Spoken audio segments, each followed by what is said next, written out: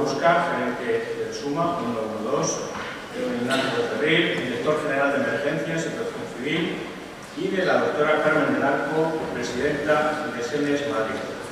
Agradecer también su presencia a la doctora Pesado, su directora general de Protección Civil, al doctor Corral, jefe del Departamento de Formación, y al doctor Fernando Prados, director médico del SUMA 112.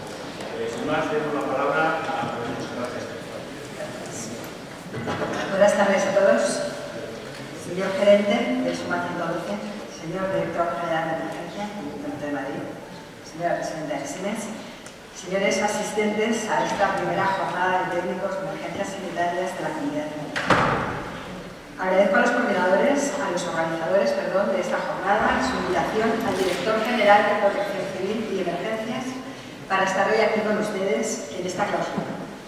Él no ha podido venir a última hora y por ello les transmito yo su agradecimiento y felicitaciones por haber llevado a cabo la celebración de esta jornada. También sus saludos a todos los técnicos de emergencias aquí presentes que han estado hoy intercambiando conocimientos y actualizando competencias eh, pues de una manera continuada y muy abundante. Para mí es un honor estar aquí con ustedes y es muy satisfactorio haberles tenido en nuestras instalaciones y saber que hemos contribuido a que casi 600 personas se formen en las otras novedades de su profesión y hayan podido compartir puntos de vista y conocimientos entre todos. La Escuela Nacional de Protección Civil, que tengo el honor de dirigir, tiene, entre otras, la misión de contribuir al intercambio de conocimientos entre los profesionales que participan en los sistemas de emergencias y catástrofes. Por ello, nos honramos de trabajar con otras instituciones y sociedades científicas que persiguen el mismo fin y esta jornada es una muestra de ello. Vivimos en una sociedad que reclama cada vez más a los poderes públicos que velen por su seguridad y bienestar el fortalecimiento de un sistema de protección civil en el seno del cual podamos adoptar las medidas necesarias no solo para reducir el riesgo de catástrofes, sino también para minimizar sus consecuencias y atender a la población afectada, es una obligación que compartimos todos. Quiero aprovechar para que conozcan que la, escuela, la principal misión de la escuela es formar y entrenar a los mandos y profesionales del sistema de protección civil y contribuir a la coordinación de dicho sistema a través de la formación. Y que aunque no tenemos una oferta exclusiva para el colectivo de técnicos de emergencias sanitarias, sí que les consideramos parte importante del sistema y, por supuesto, pueden acceder a los cursos generales de protección civil que tenemos en. Este año se cumplirán 10 años de la publicación del Real Decreto 1197-2007 por el que se establecía el título de técnico de emergencias sanitarias y se fijaban las enseñanzas mínimas y las competencias que deben tener. Desde entonces, este colectivo, su colectivo, se ha ido haciendo un hueco cada vez más importante en nuestra sociedad y específicamente en la medicina de urgencias y emergencias prehospitalarias.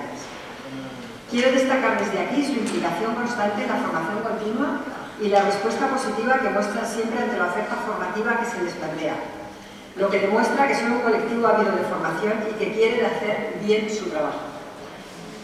Resaltar también la buena respuesta que ha tenido esta primera jornada para técnicos de emergencias sanitarias de la Comunidad de Madrid, organizada por la Sociedad Española de Medicina de Emergencias, junto con la Comunidad de Madrid y el Ayuntamiento de Madrid, a través del SUMA 112 y SAMO Protección Civil respectivamente. Decirles por último que consideren esta escuela como su casa, y que estamos abiertos a continuar colaborando con ustedes a través de sus instituciones y representantes para ir día a día contribuyendo a una mejor profesionalización del colectivo de técnicos de emergencias sanitarias. Y no me más. Quiero agradecer de nuevo a mis organizadores su confianza en la escuela para albergar esta jornada y les felicito por haberla llevado a cabo y por su esfuerzo. Y también les felicito a todos ustedes y les animo a que continúen su formación para contribuir a la mejora del servicio a la sociedad. Gracias.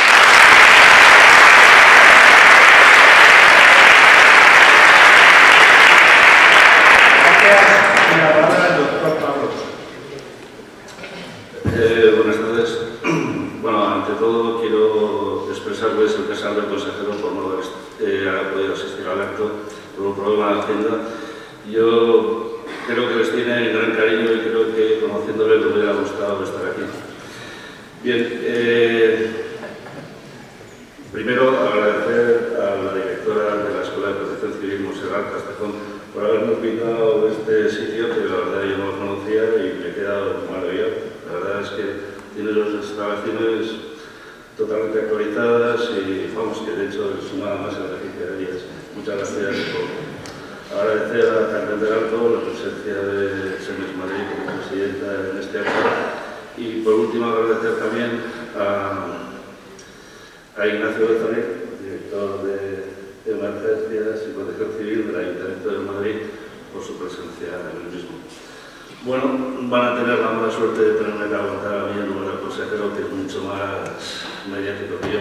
En primer lugar, decirle a Cristina, yo no sé si soy gato, perro o...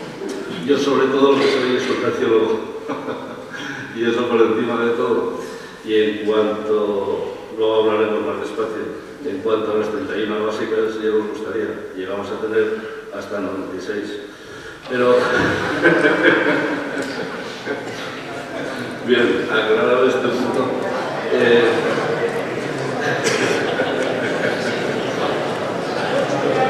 Como no agradecer a Fernando López Mesa, representante y vicepresidente de SEMES, de los técnicos, creo que SEMES está contigo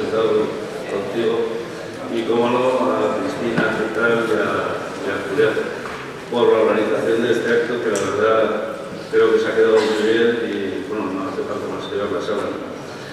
Bien, eh, creo que la realidad nuestra de los técnicos es incuestionable independientemente de normas y decretos. Eh, creo que os habéis ganado vuestro puesto a través del trabajo de día que realizáis. Eh, pero de vez en cuando, yo también, igual que ha hecho Cristina, igual que ha hecho el último ponente, pues me gusta pararme en la historia y reflexionar sobre ella. ¿no? Así que, claro, yo en mi experiencia anterior de médico de urgencias hospitalarias, el conocimiento que tenía de vosotros viene de las lecheras, sí, de cuando vosotros os llamaban así. Posteriormente, como decía Cristina, viene a través do curso básico que os habilitaba para el transporte eh, no asistido o bien avanzado, para el transporte asistido. Luego siguieron diferentes, eh, diferentes decretos y diferentes que poco a poco los han ido situando en una cuestión mejor. ¿no?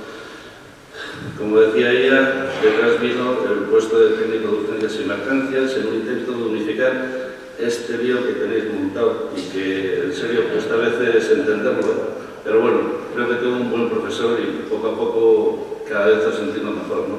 Como decía, intento de unificar estas cosas que, que tenéis, conductores, celadores, locutores, bien.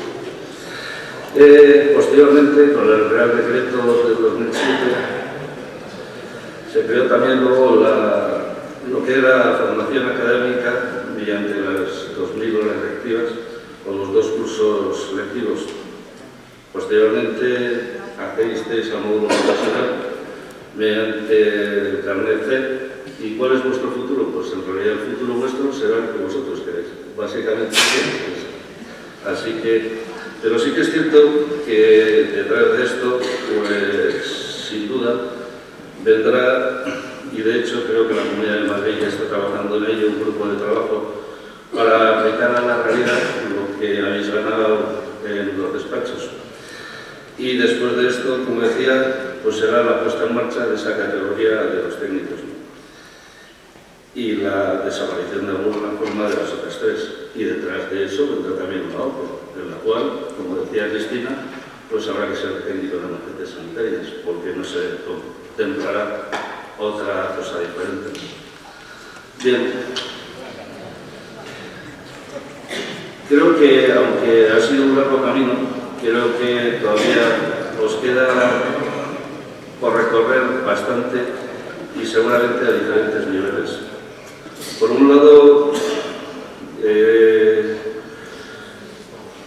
la concienciación mm, vuestra de lo que habéis peleado por ser y querer ser, que son técnicos en emergencias sanitarias. No estaba de espaldas y no he podido comprobar la cantidad de vosotros que ha levantado la mano.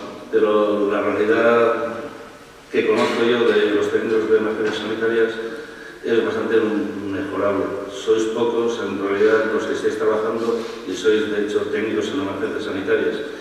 Y a mí esto pues, me produce un poquito de pena, porque esto va a ser fundamental, sobre todo en la gente que eso de mediana, de mediana edad y joven que estáis dedicando a ello.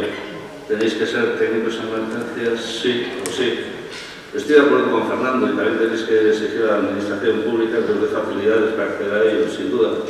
Pero no tenéis otra más que ser, para mí, técnicos en órdenes sanitarias.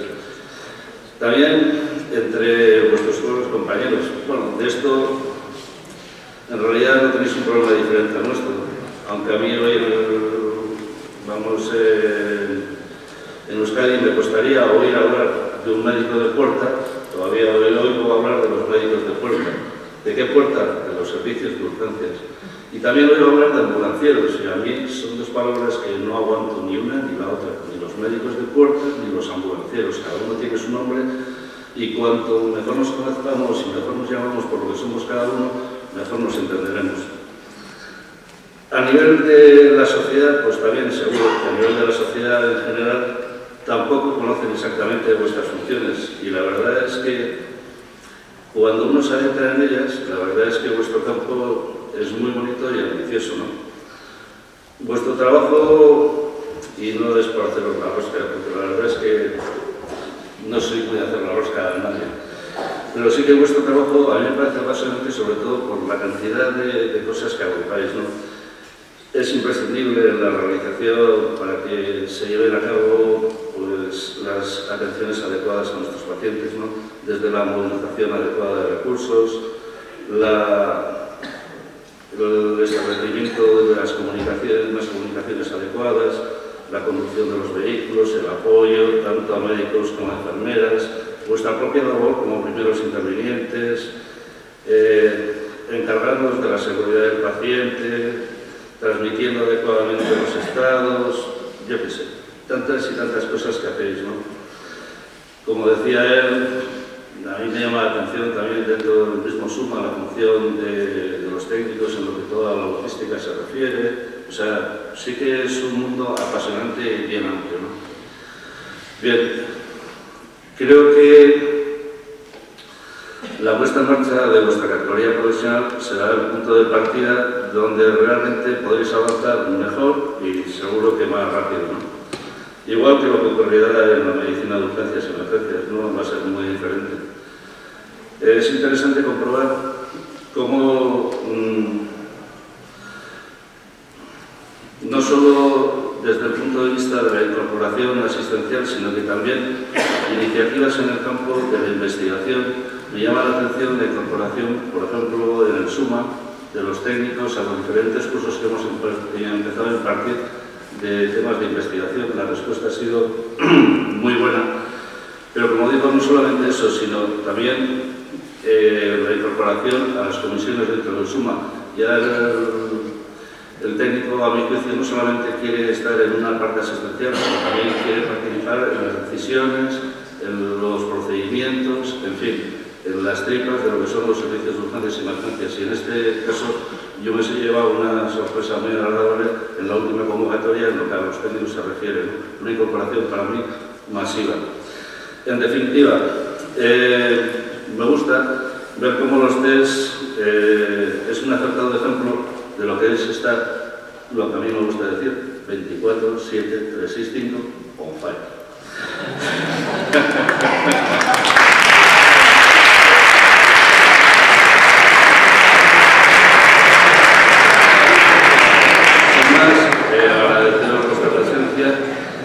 pediros que sigáis cuidando de los pacientes como lo venís haciendo. Y doy por finalizada mi intervención.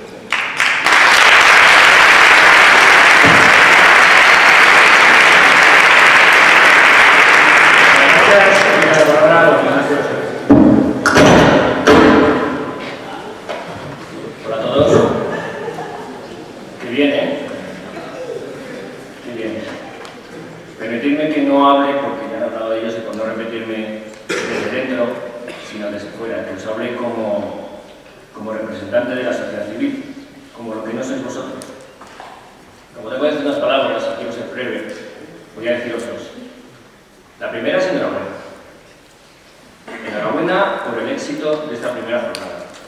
Enhorabuena a los organizadores, que ya esta noche ya os voy a dar un buen homenaje, ¿eh? porque no podía haber sido mejor y estamos impresionados.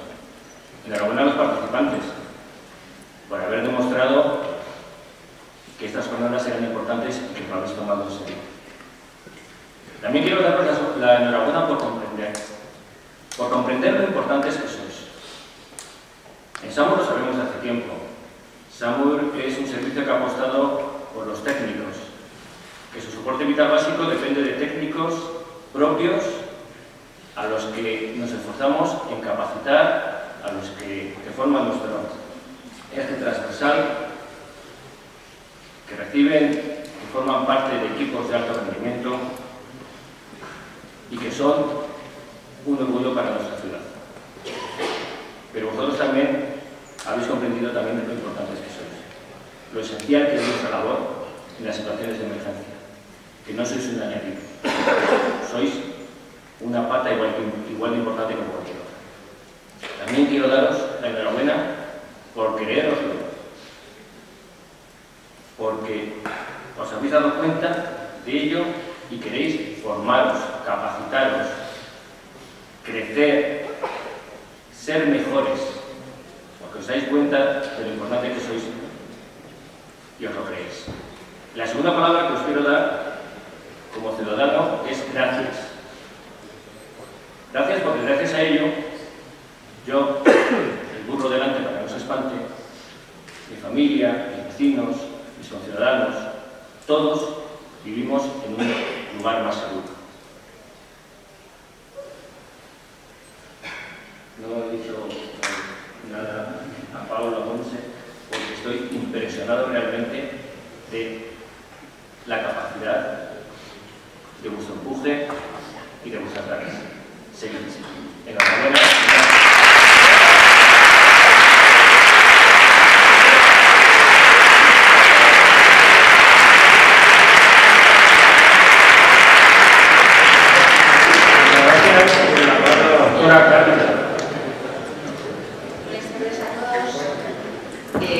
llegamos con pena al final de las jornadas, porque yo creo que viendo las fotos que han estado tuiteando durante toda la mañana, la afluencia de personas que quieren estar aquí, el ansia por tener las jornadas, yo creo que se ha visto perfectamente culminada. He de decir que al primero que hay que agradecer es a Fernando el esfuerzo tremendo que realiza y todos los días me manda mensajes. Vamos a organizar un curso para los técnicos, vamos a organizar unas jornadas. ¿Qué te parece si montamos alguna reunión específica? Mm, yo creo que no hay mes que no mande un, una propuesta de realización y yo creo que eh, eso es lo que hace que, como sociedad científica, como SEMES, como SEMES Madrid, nos sintamos más contentos. Sabéis que eh, los objetivos de la sociedad, para mí, los dos prioritarios, independientemente de que nos pasemos la vida reivindicando cosas, que también, pero el objetivo de reivindicar es uno y los otros dos que yo creo que hacen que la sociedad avance y que se consiga el principal objetivo que reivindicamos es hacer o facilitar la formación y eh, poner en marcha la investigación. Si uno adquiere capacidades en formación, a medida que uno eh, aprende más, a medida que nos planteamos conocer unas cosas, surgen dudas, surgen preguntas. Cuando surgen esas preguntas hay que darles una respuesta. La investigación no es más que el procedimiento por el cual le damos respuestas a las preguntas que nos han surgido cuando hemos ido aprendiendo más. Cuanto más aprendes, más quieres saber y por lo tanto eh, desarrollas un conocimiento y cuando desarrollas el conocimiento, contestas a las preguntas que te han surgido mientras estabas aprendiendo, creas un cuerpo doctrinal de una especialidad médica, de una especialidad enfermera o de una especialidad de trabajo del técnico. Es decir, que nuestro objetivo de alcanzar eh, todos esos ambiciosos logros pasan porque hagamos muchas jornadas de este tipo, pasan porque nos encontremos, desarrollemos mucho eh, nuestro estudio, pongamos en marcha cual, eh, trabajos de investigación para dar respuesta y poco a poco iremos teniendo ese peso y esa solidez que hacen que cuando uno va a realizar su trabajo sea respetado. Solo se nos respeta cuando lo que decimos es, lo decimos de manera coherente y sabiendo de lo que hablamos. Y en ese, en ese momento pasamos a tener una categoría, entre comillas, de especialista, con independencia de que tengamos títulos o no los tengamos. Por eso digo que para nosotros desde SEMES ha sido un inmenso placer poner en marcha estas jornadas, mucho más placer ver cuántas personas han venido a las mismas y estamos dispuestos a continuar, porque el año pasado hicimos una especie de amago en el que estábamos ahí todos y hubo una cierta reclamación de por qué no hacéis algo específico para los técnicos. Bueno, pues ya está aquí la jornada Suma, Salud, Protección Civil, SEMES, todos juntos lo hemos puesto en marcha y eh, me temo que hay que clausurarlo en este momento. Muchas gracias.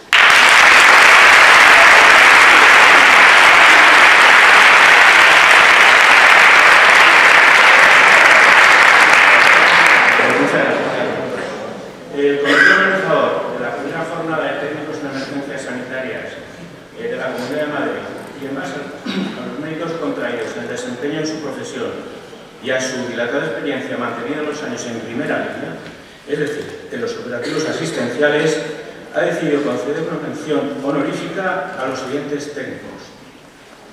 La mención se acompaña de una suscripción anual gratuita a la revista TES, una suscripción anual gratuita a la lista Rescate Vial, un ejemplar del libro de Logística Sanitaria de Editorial Arán, un muñeco de RCP y una Pokémon donadas por la y un manual de Medicina de Emergencias de Editorial del. Y los premiados son Don Jorge González Medio.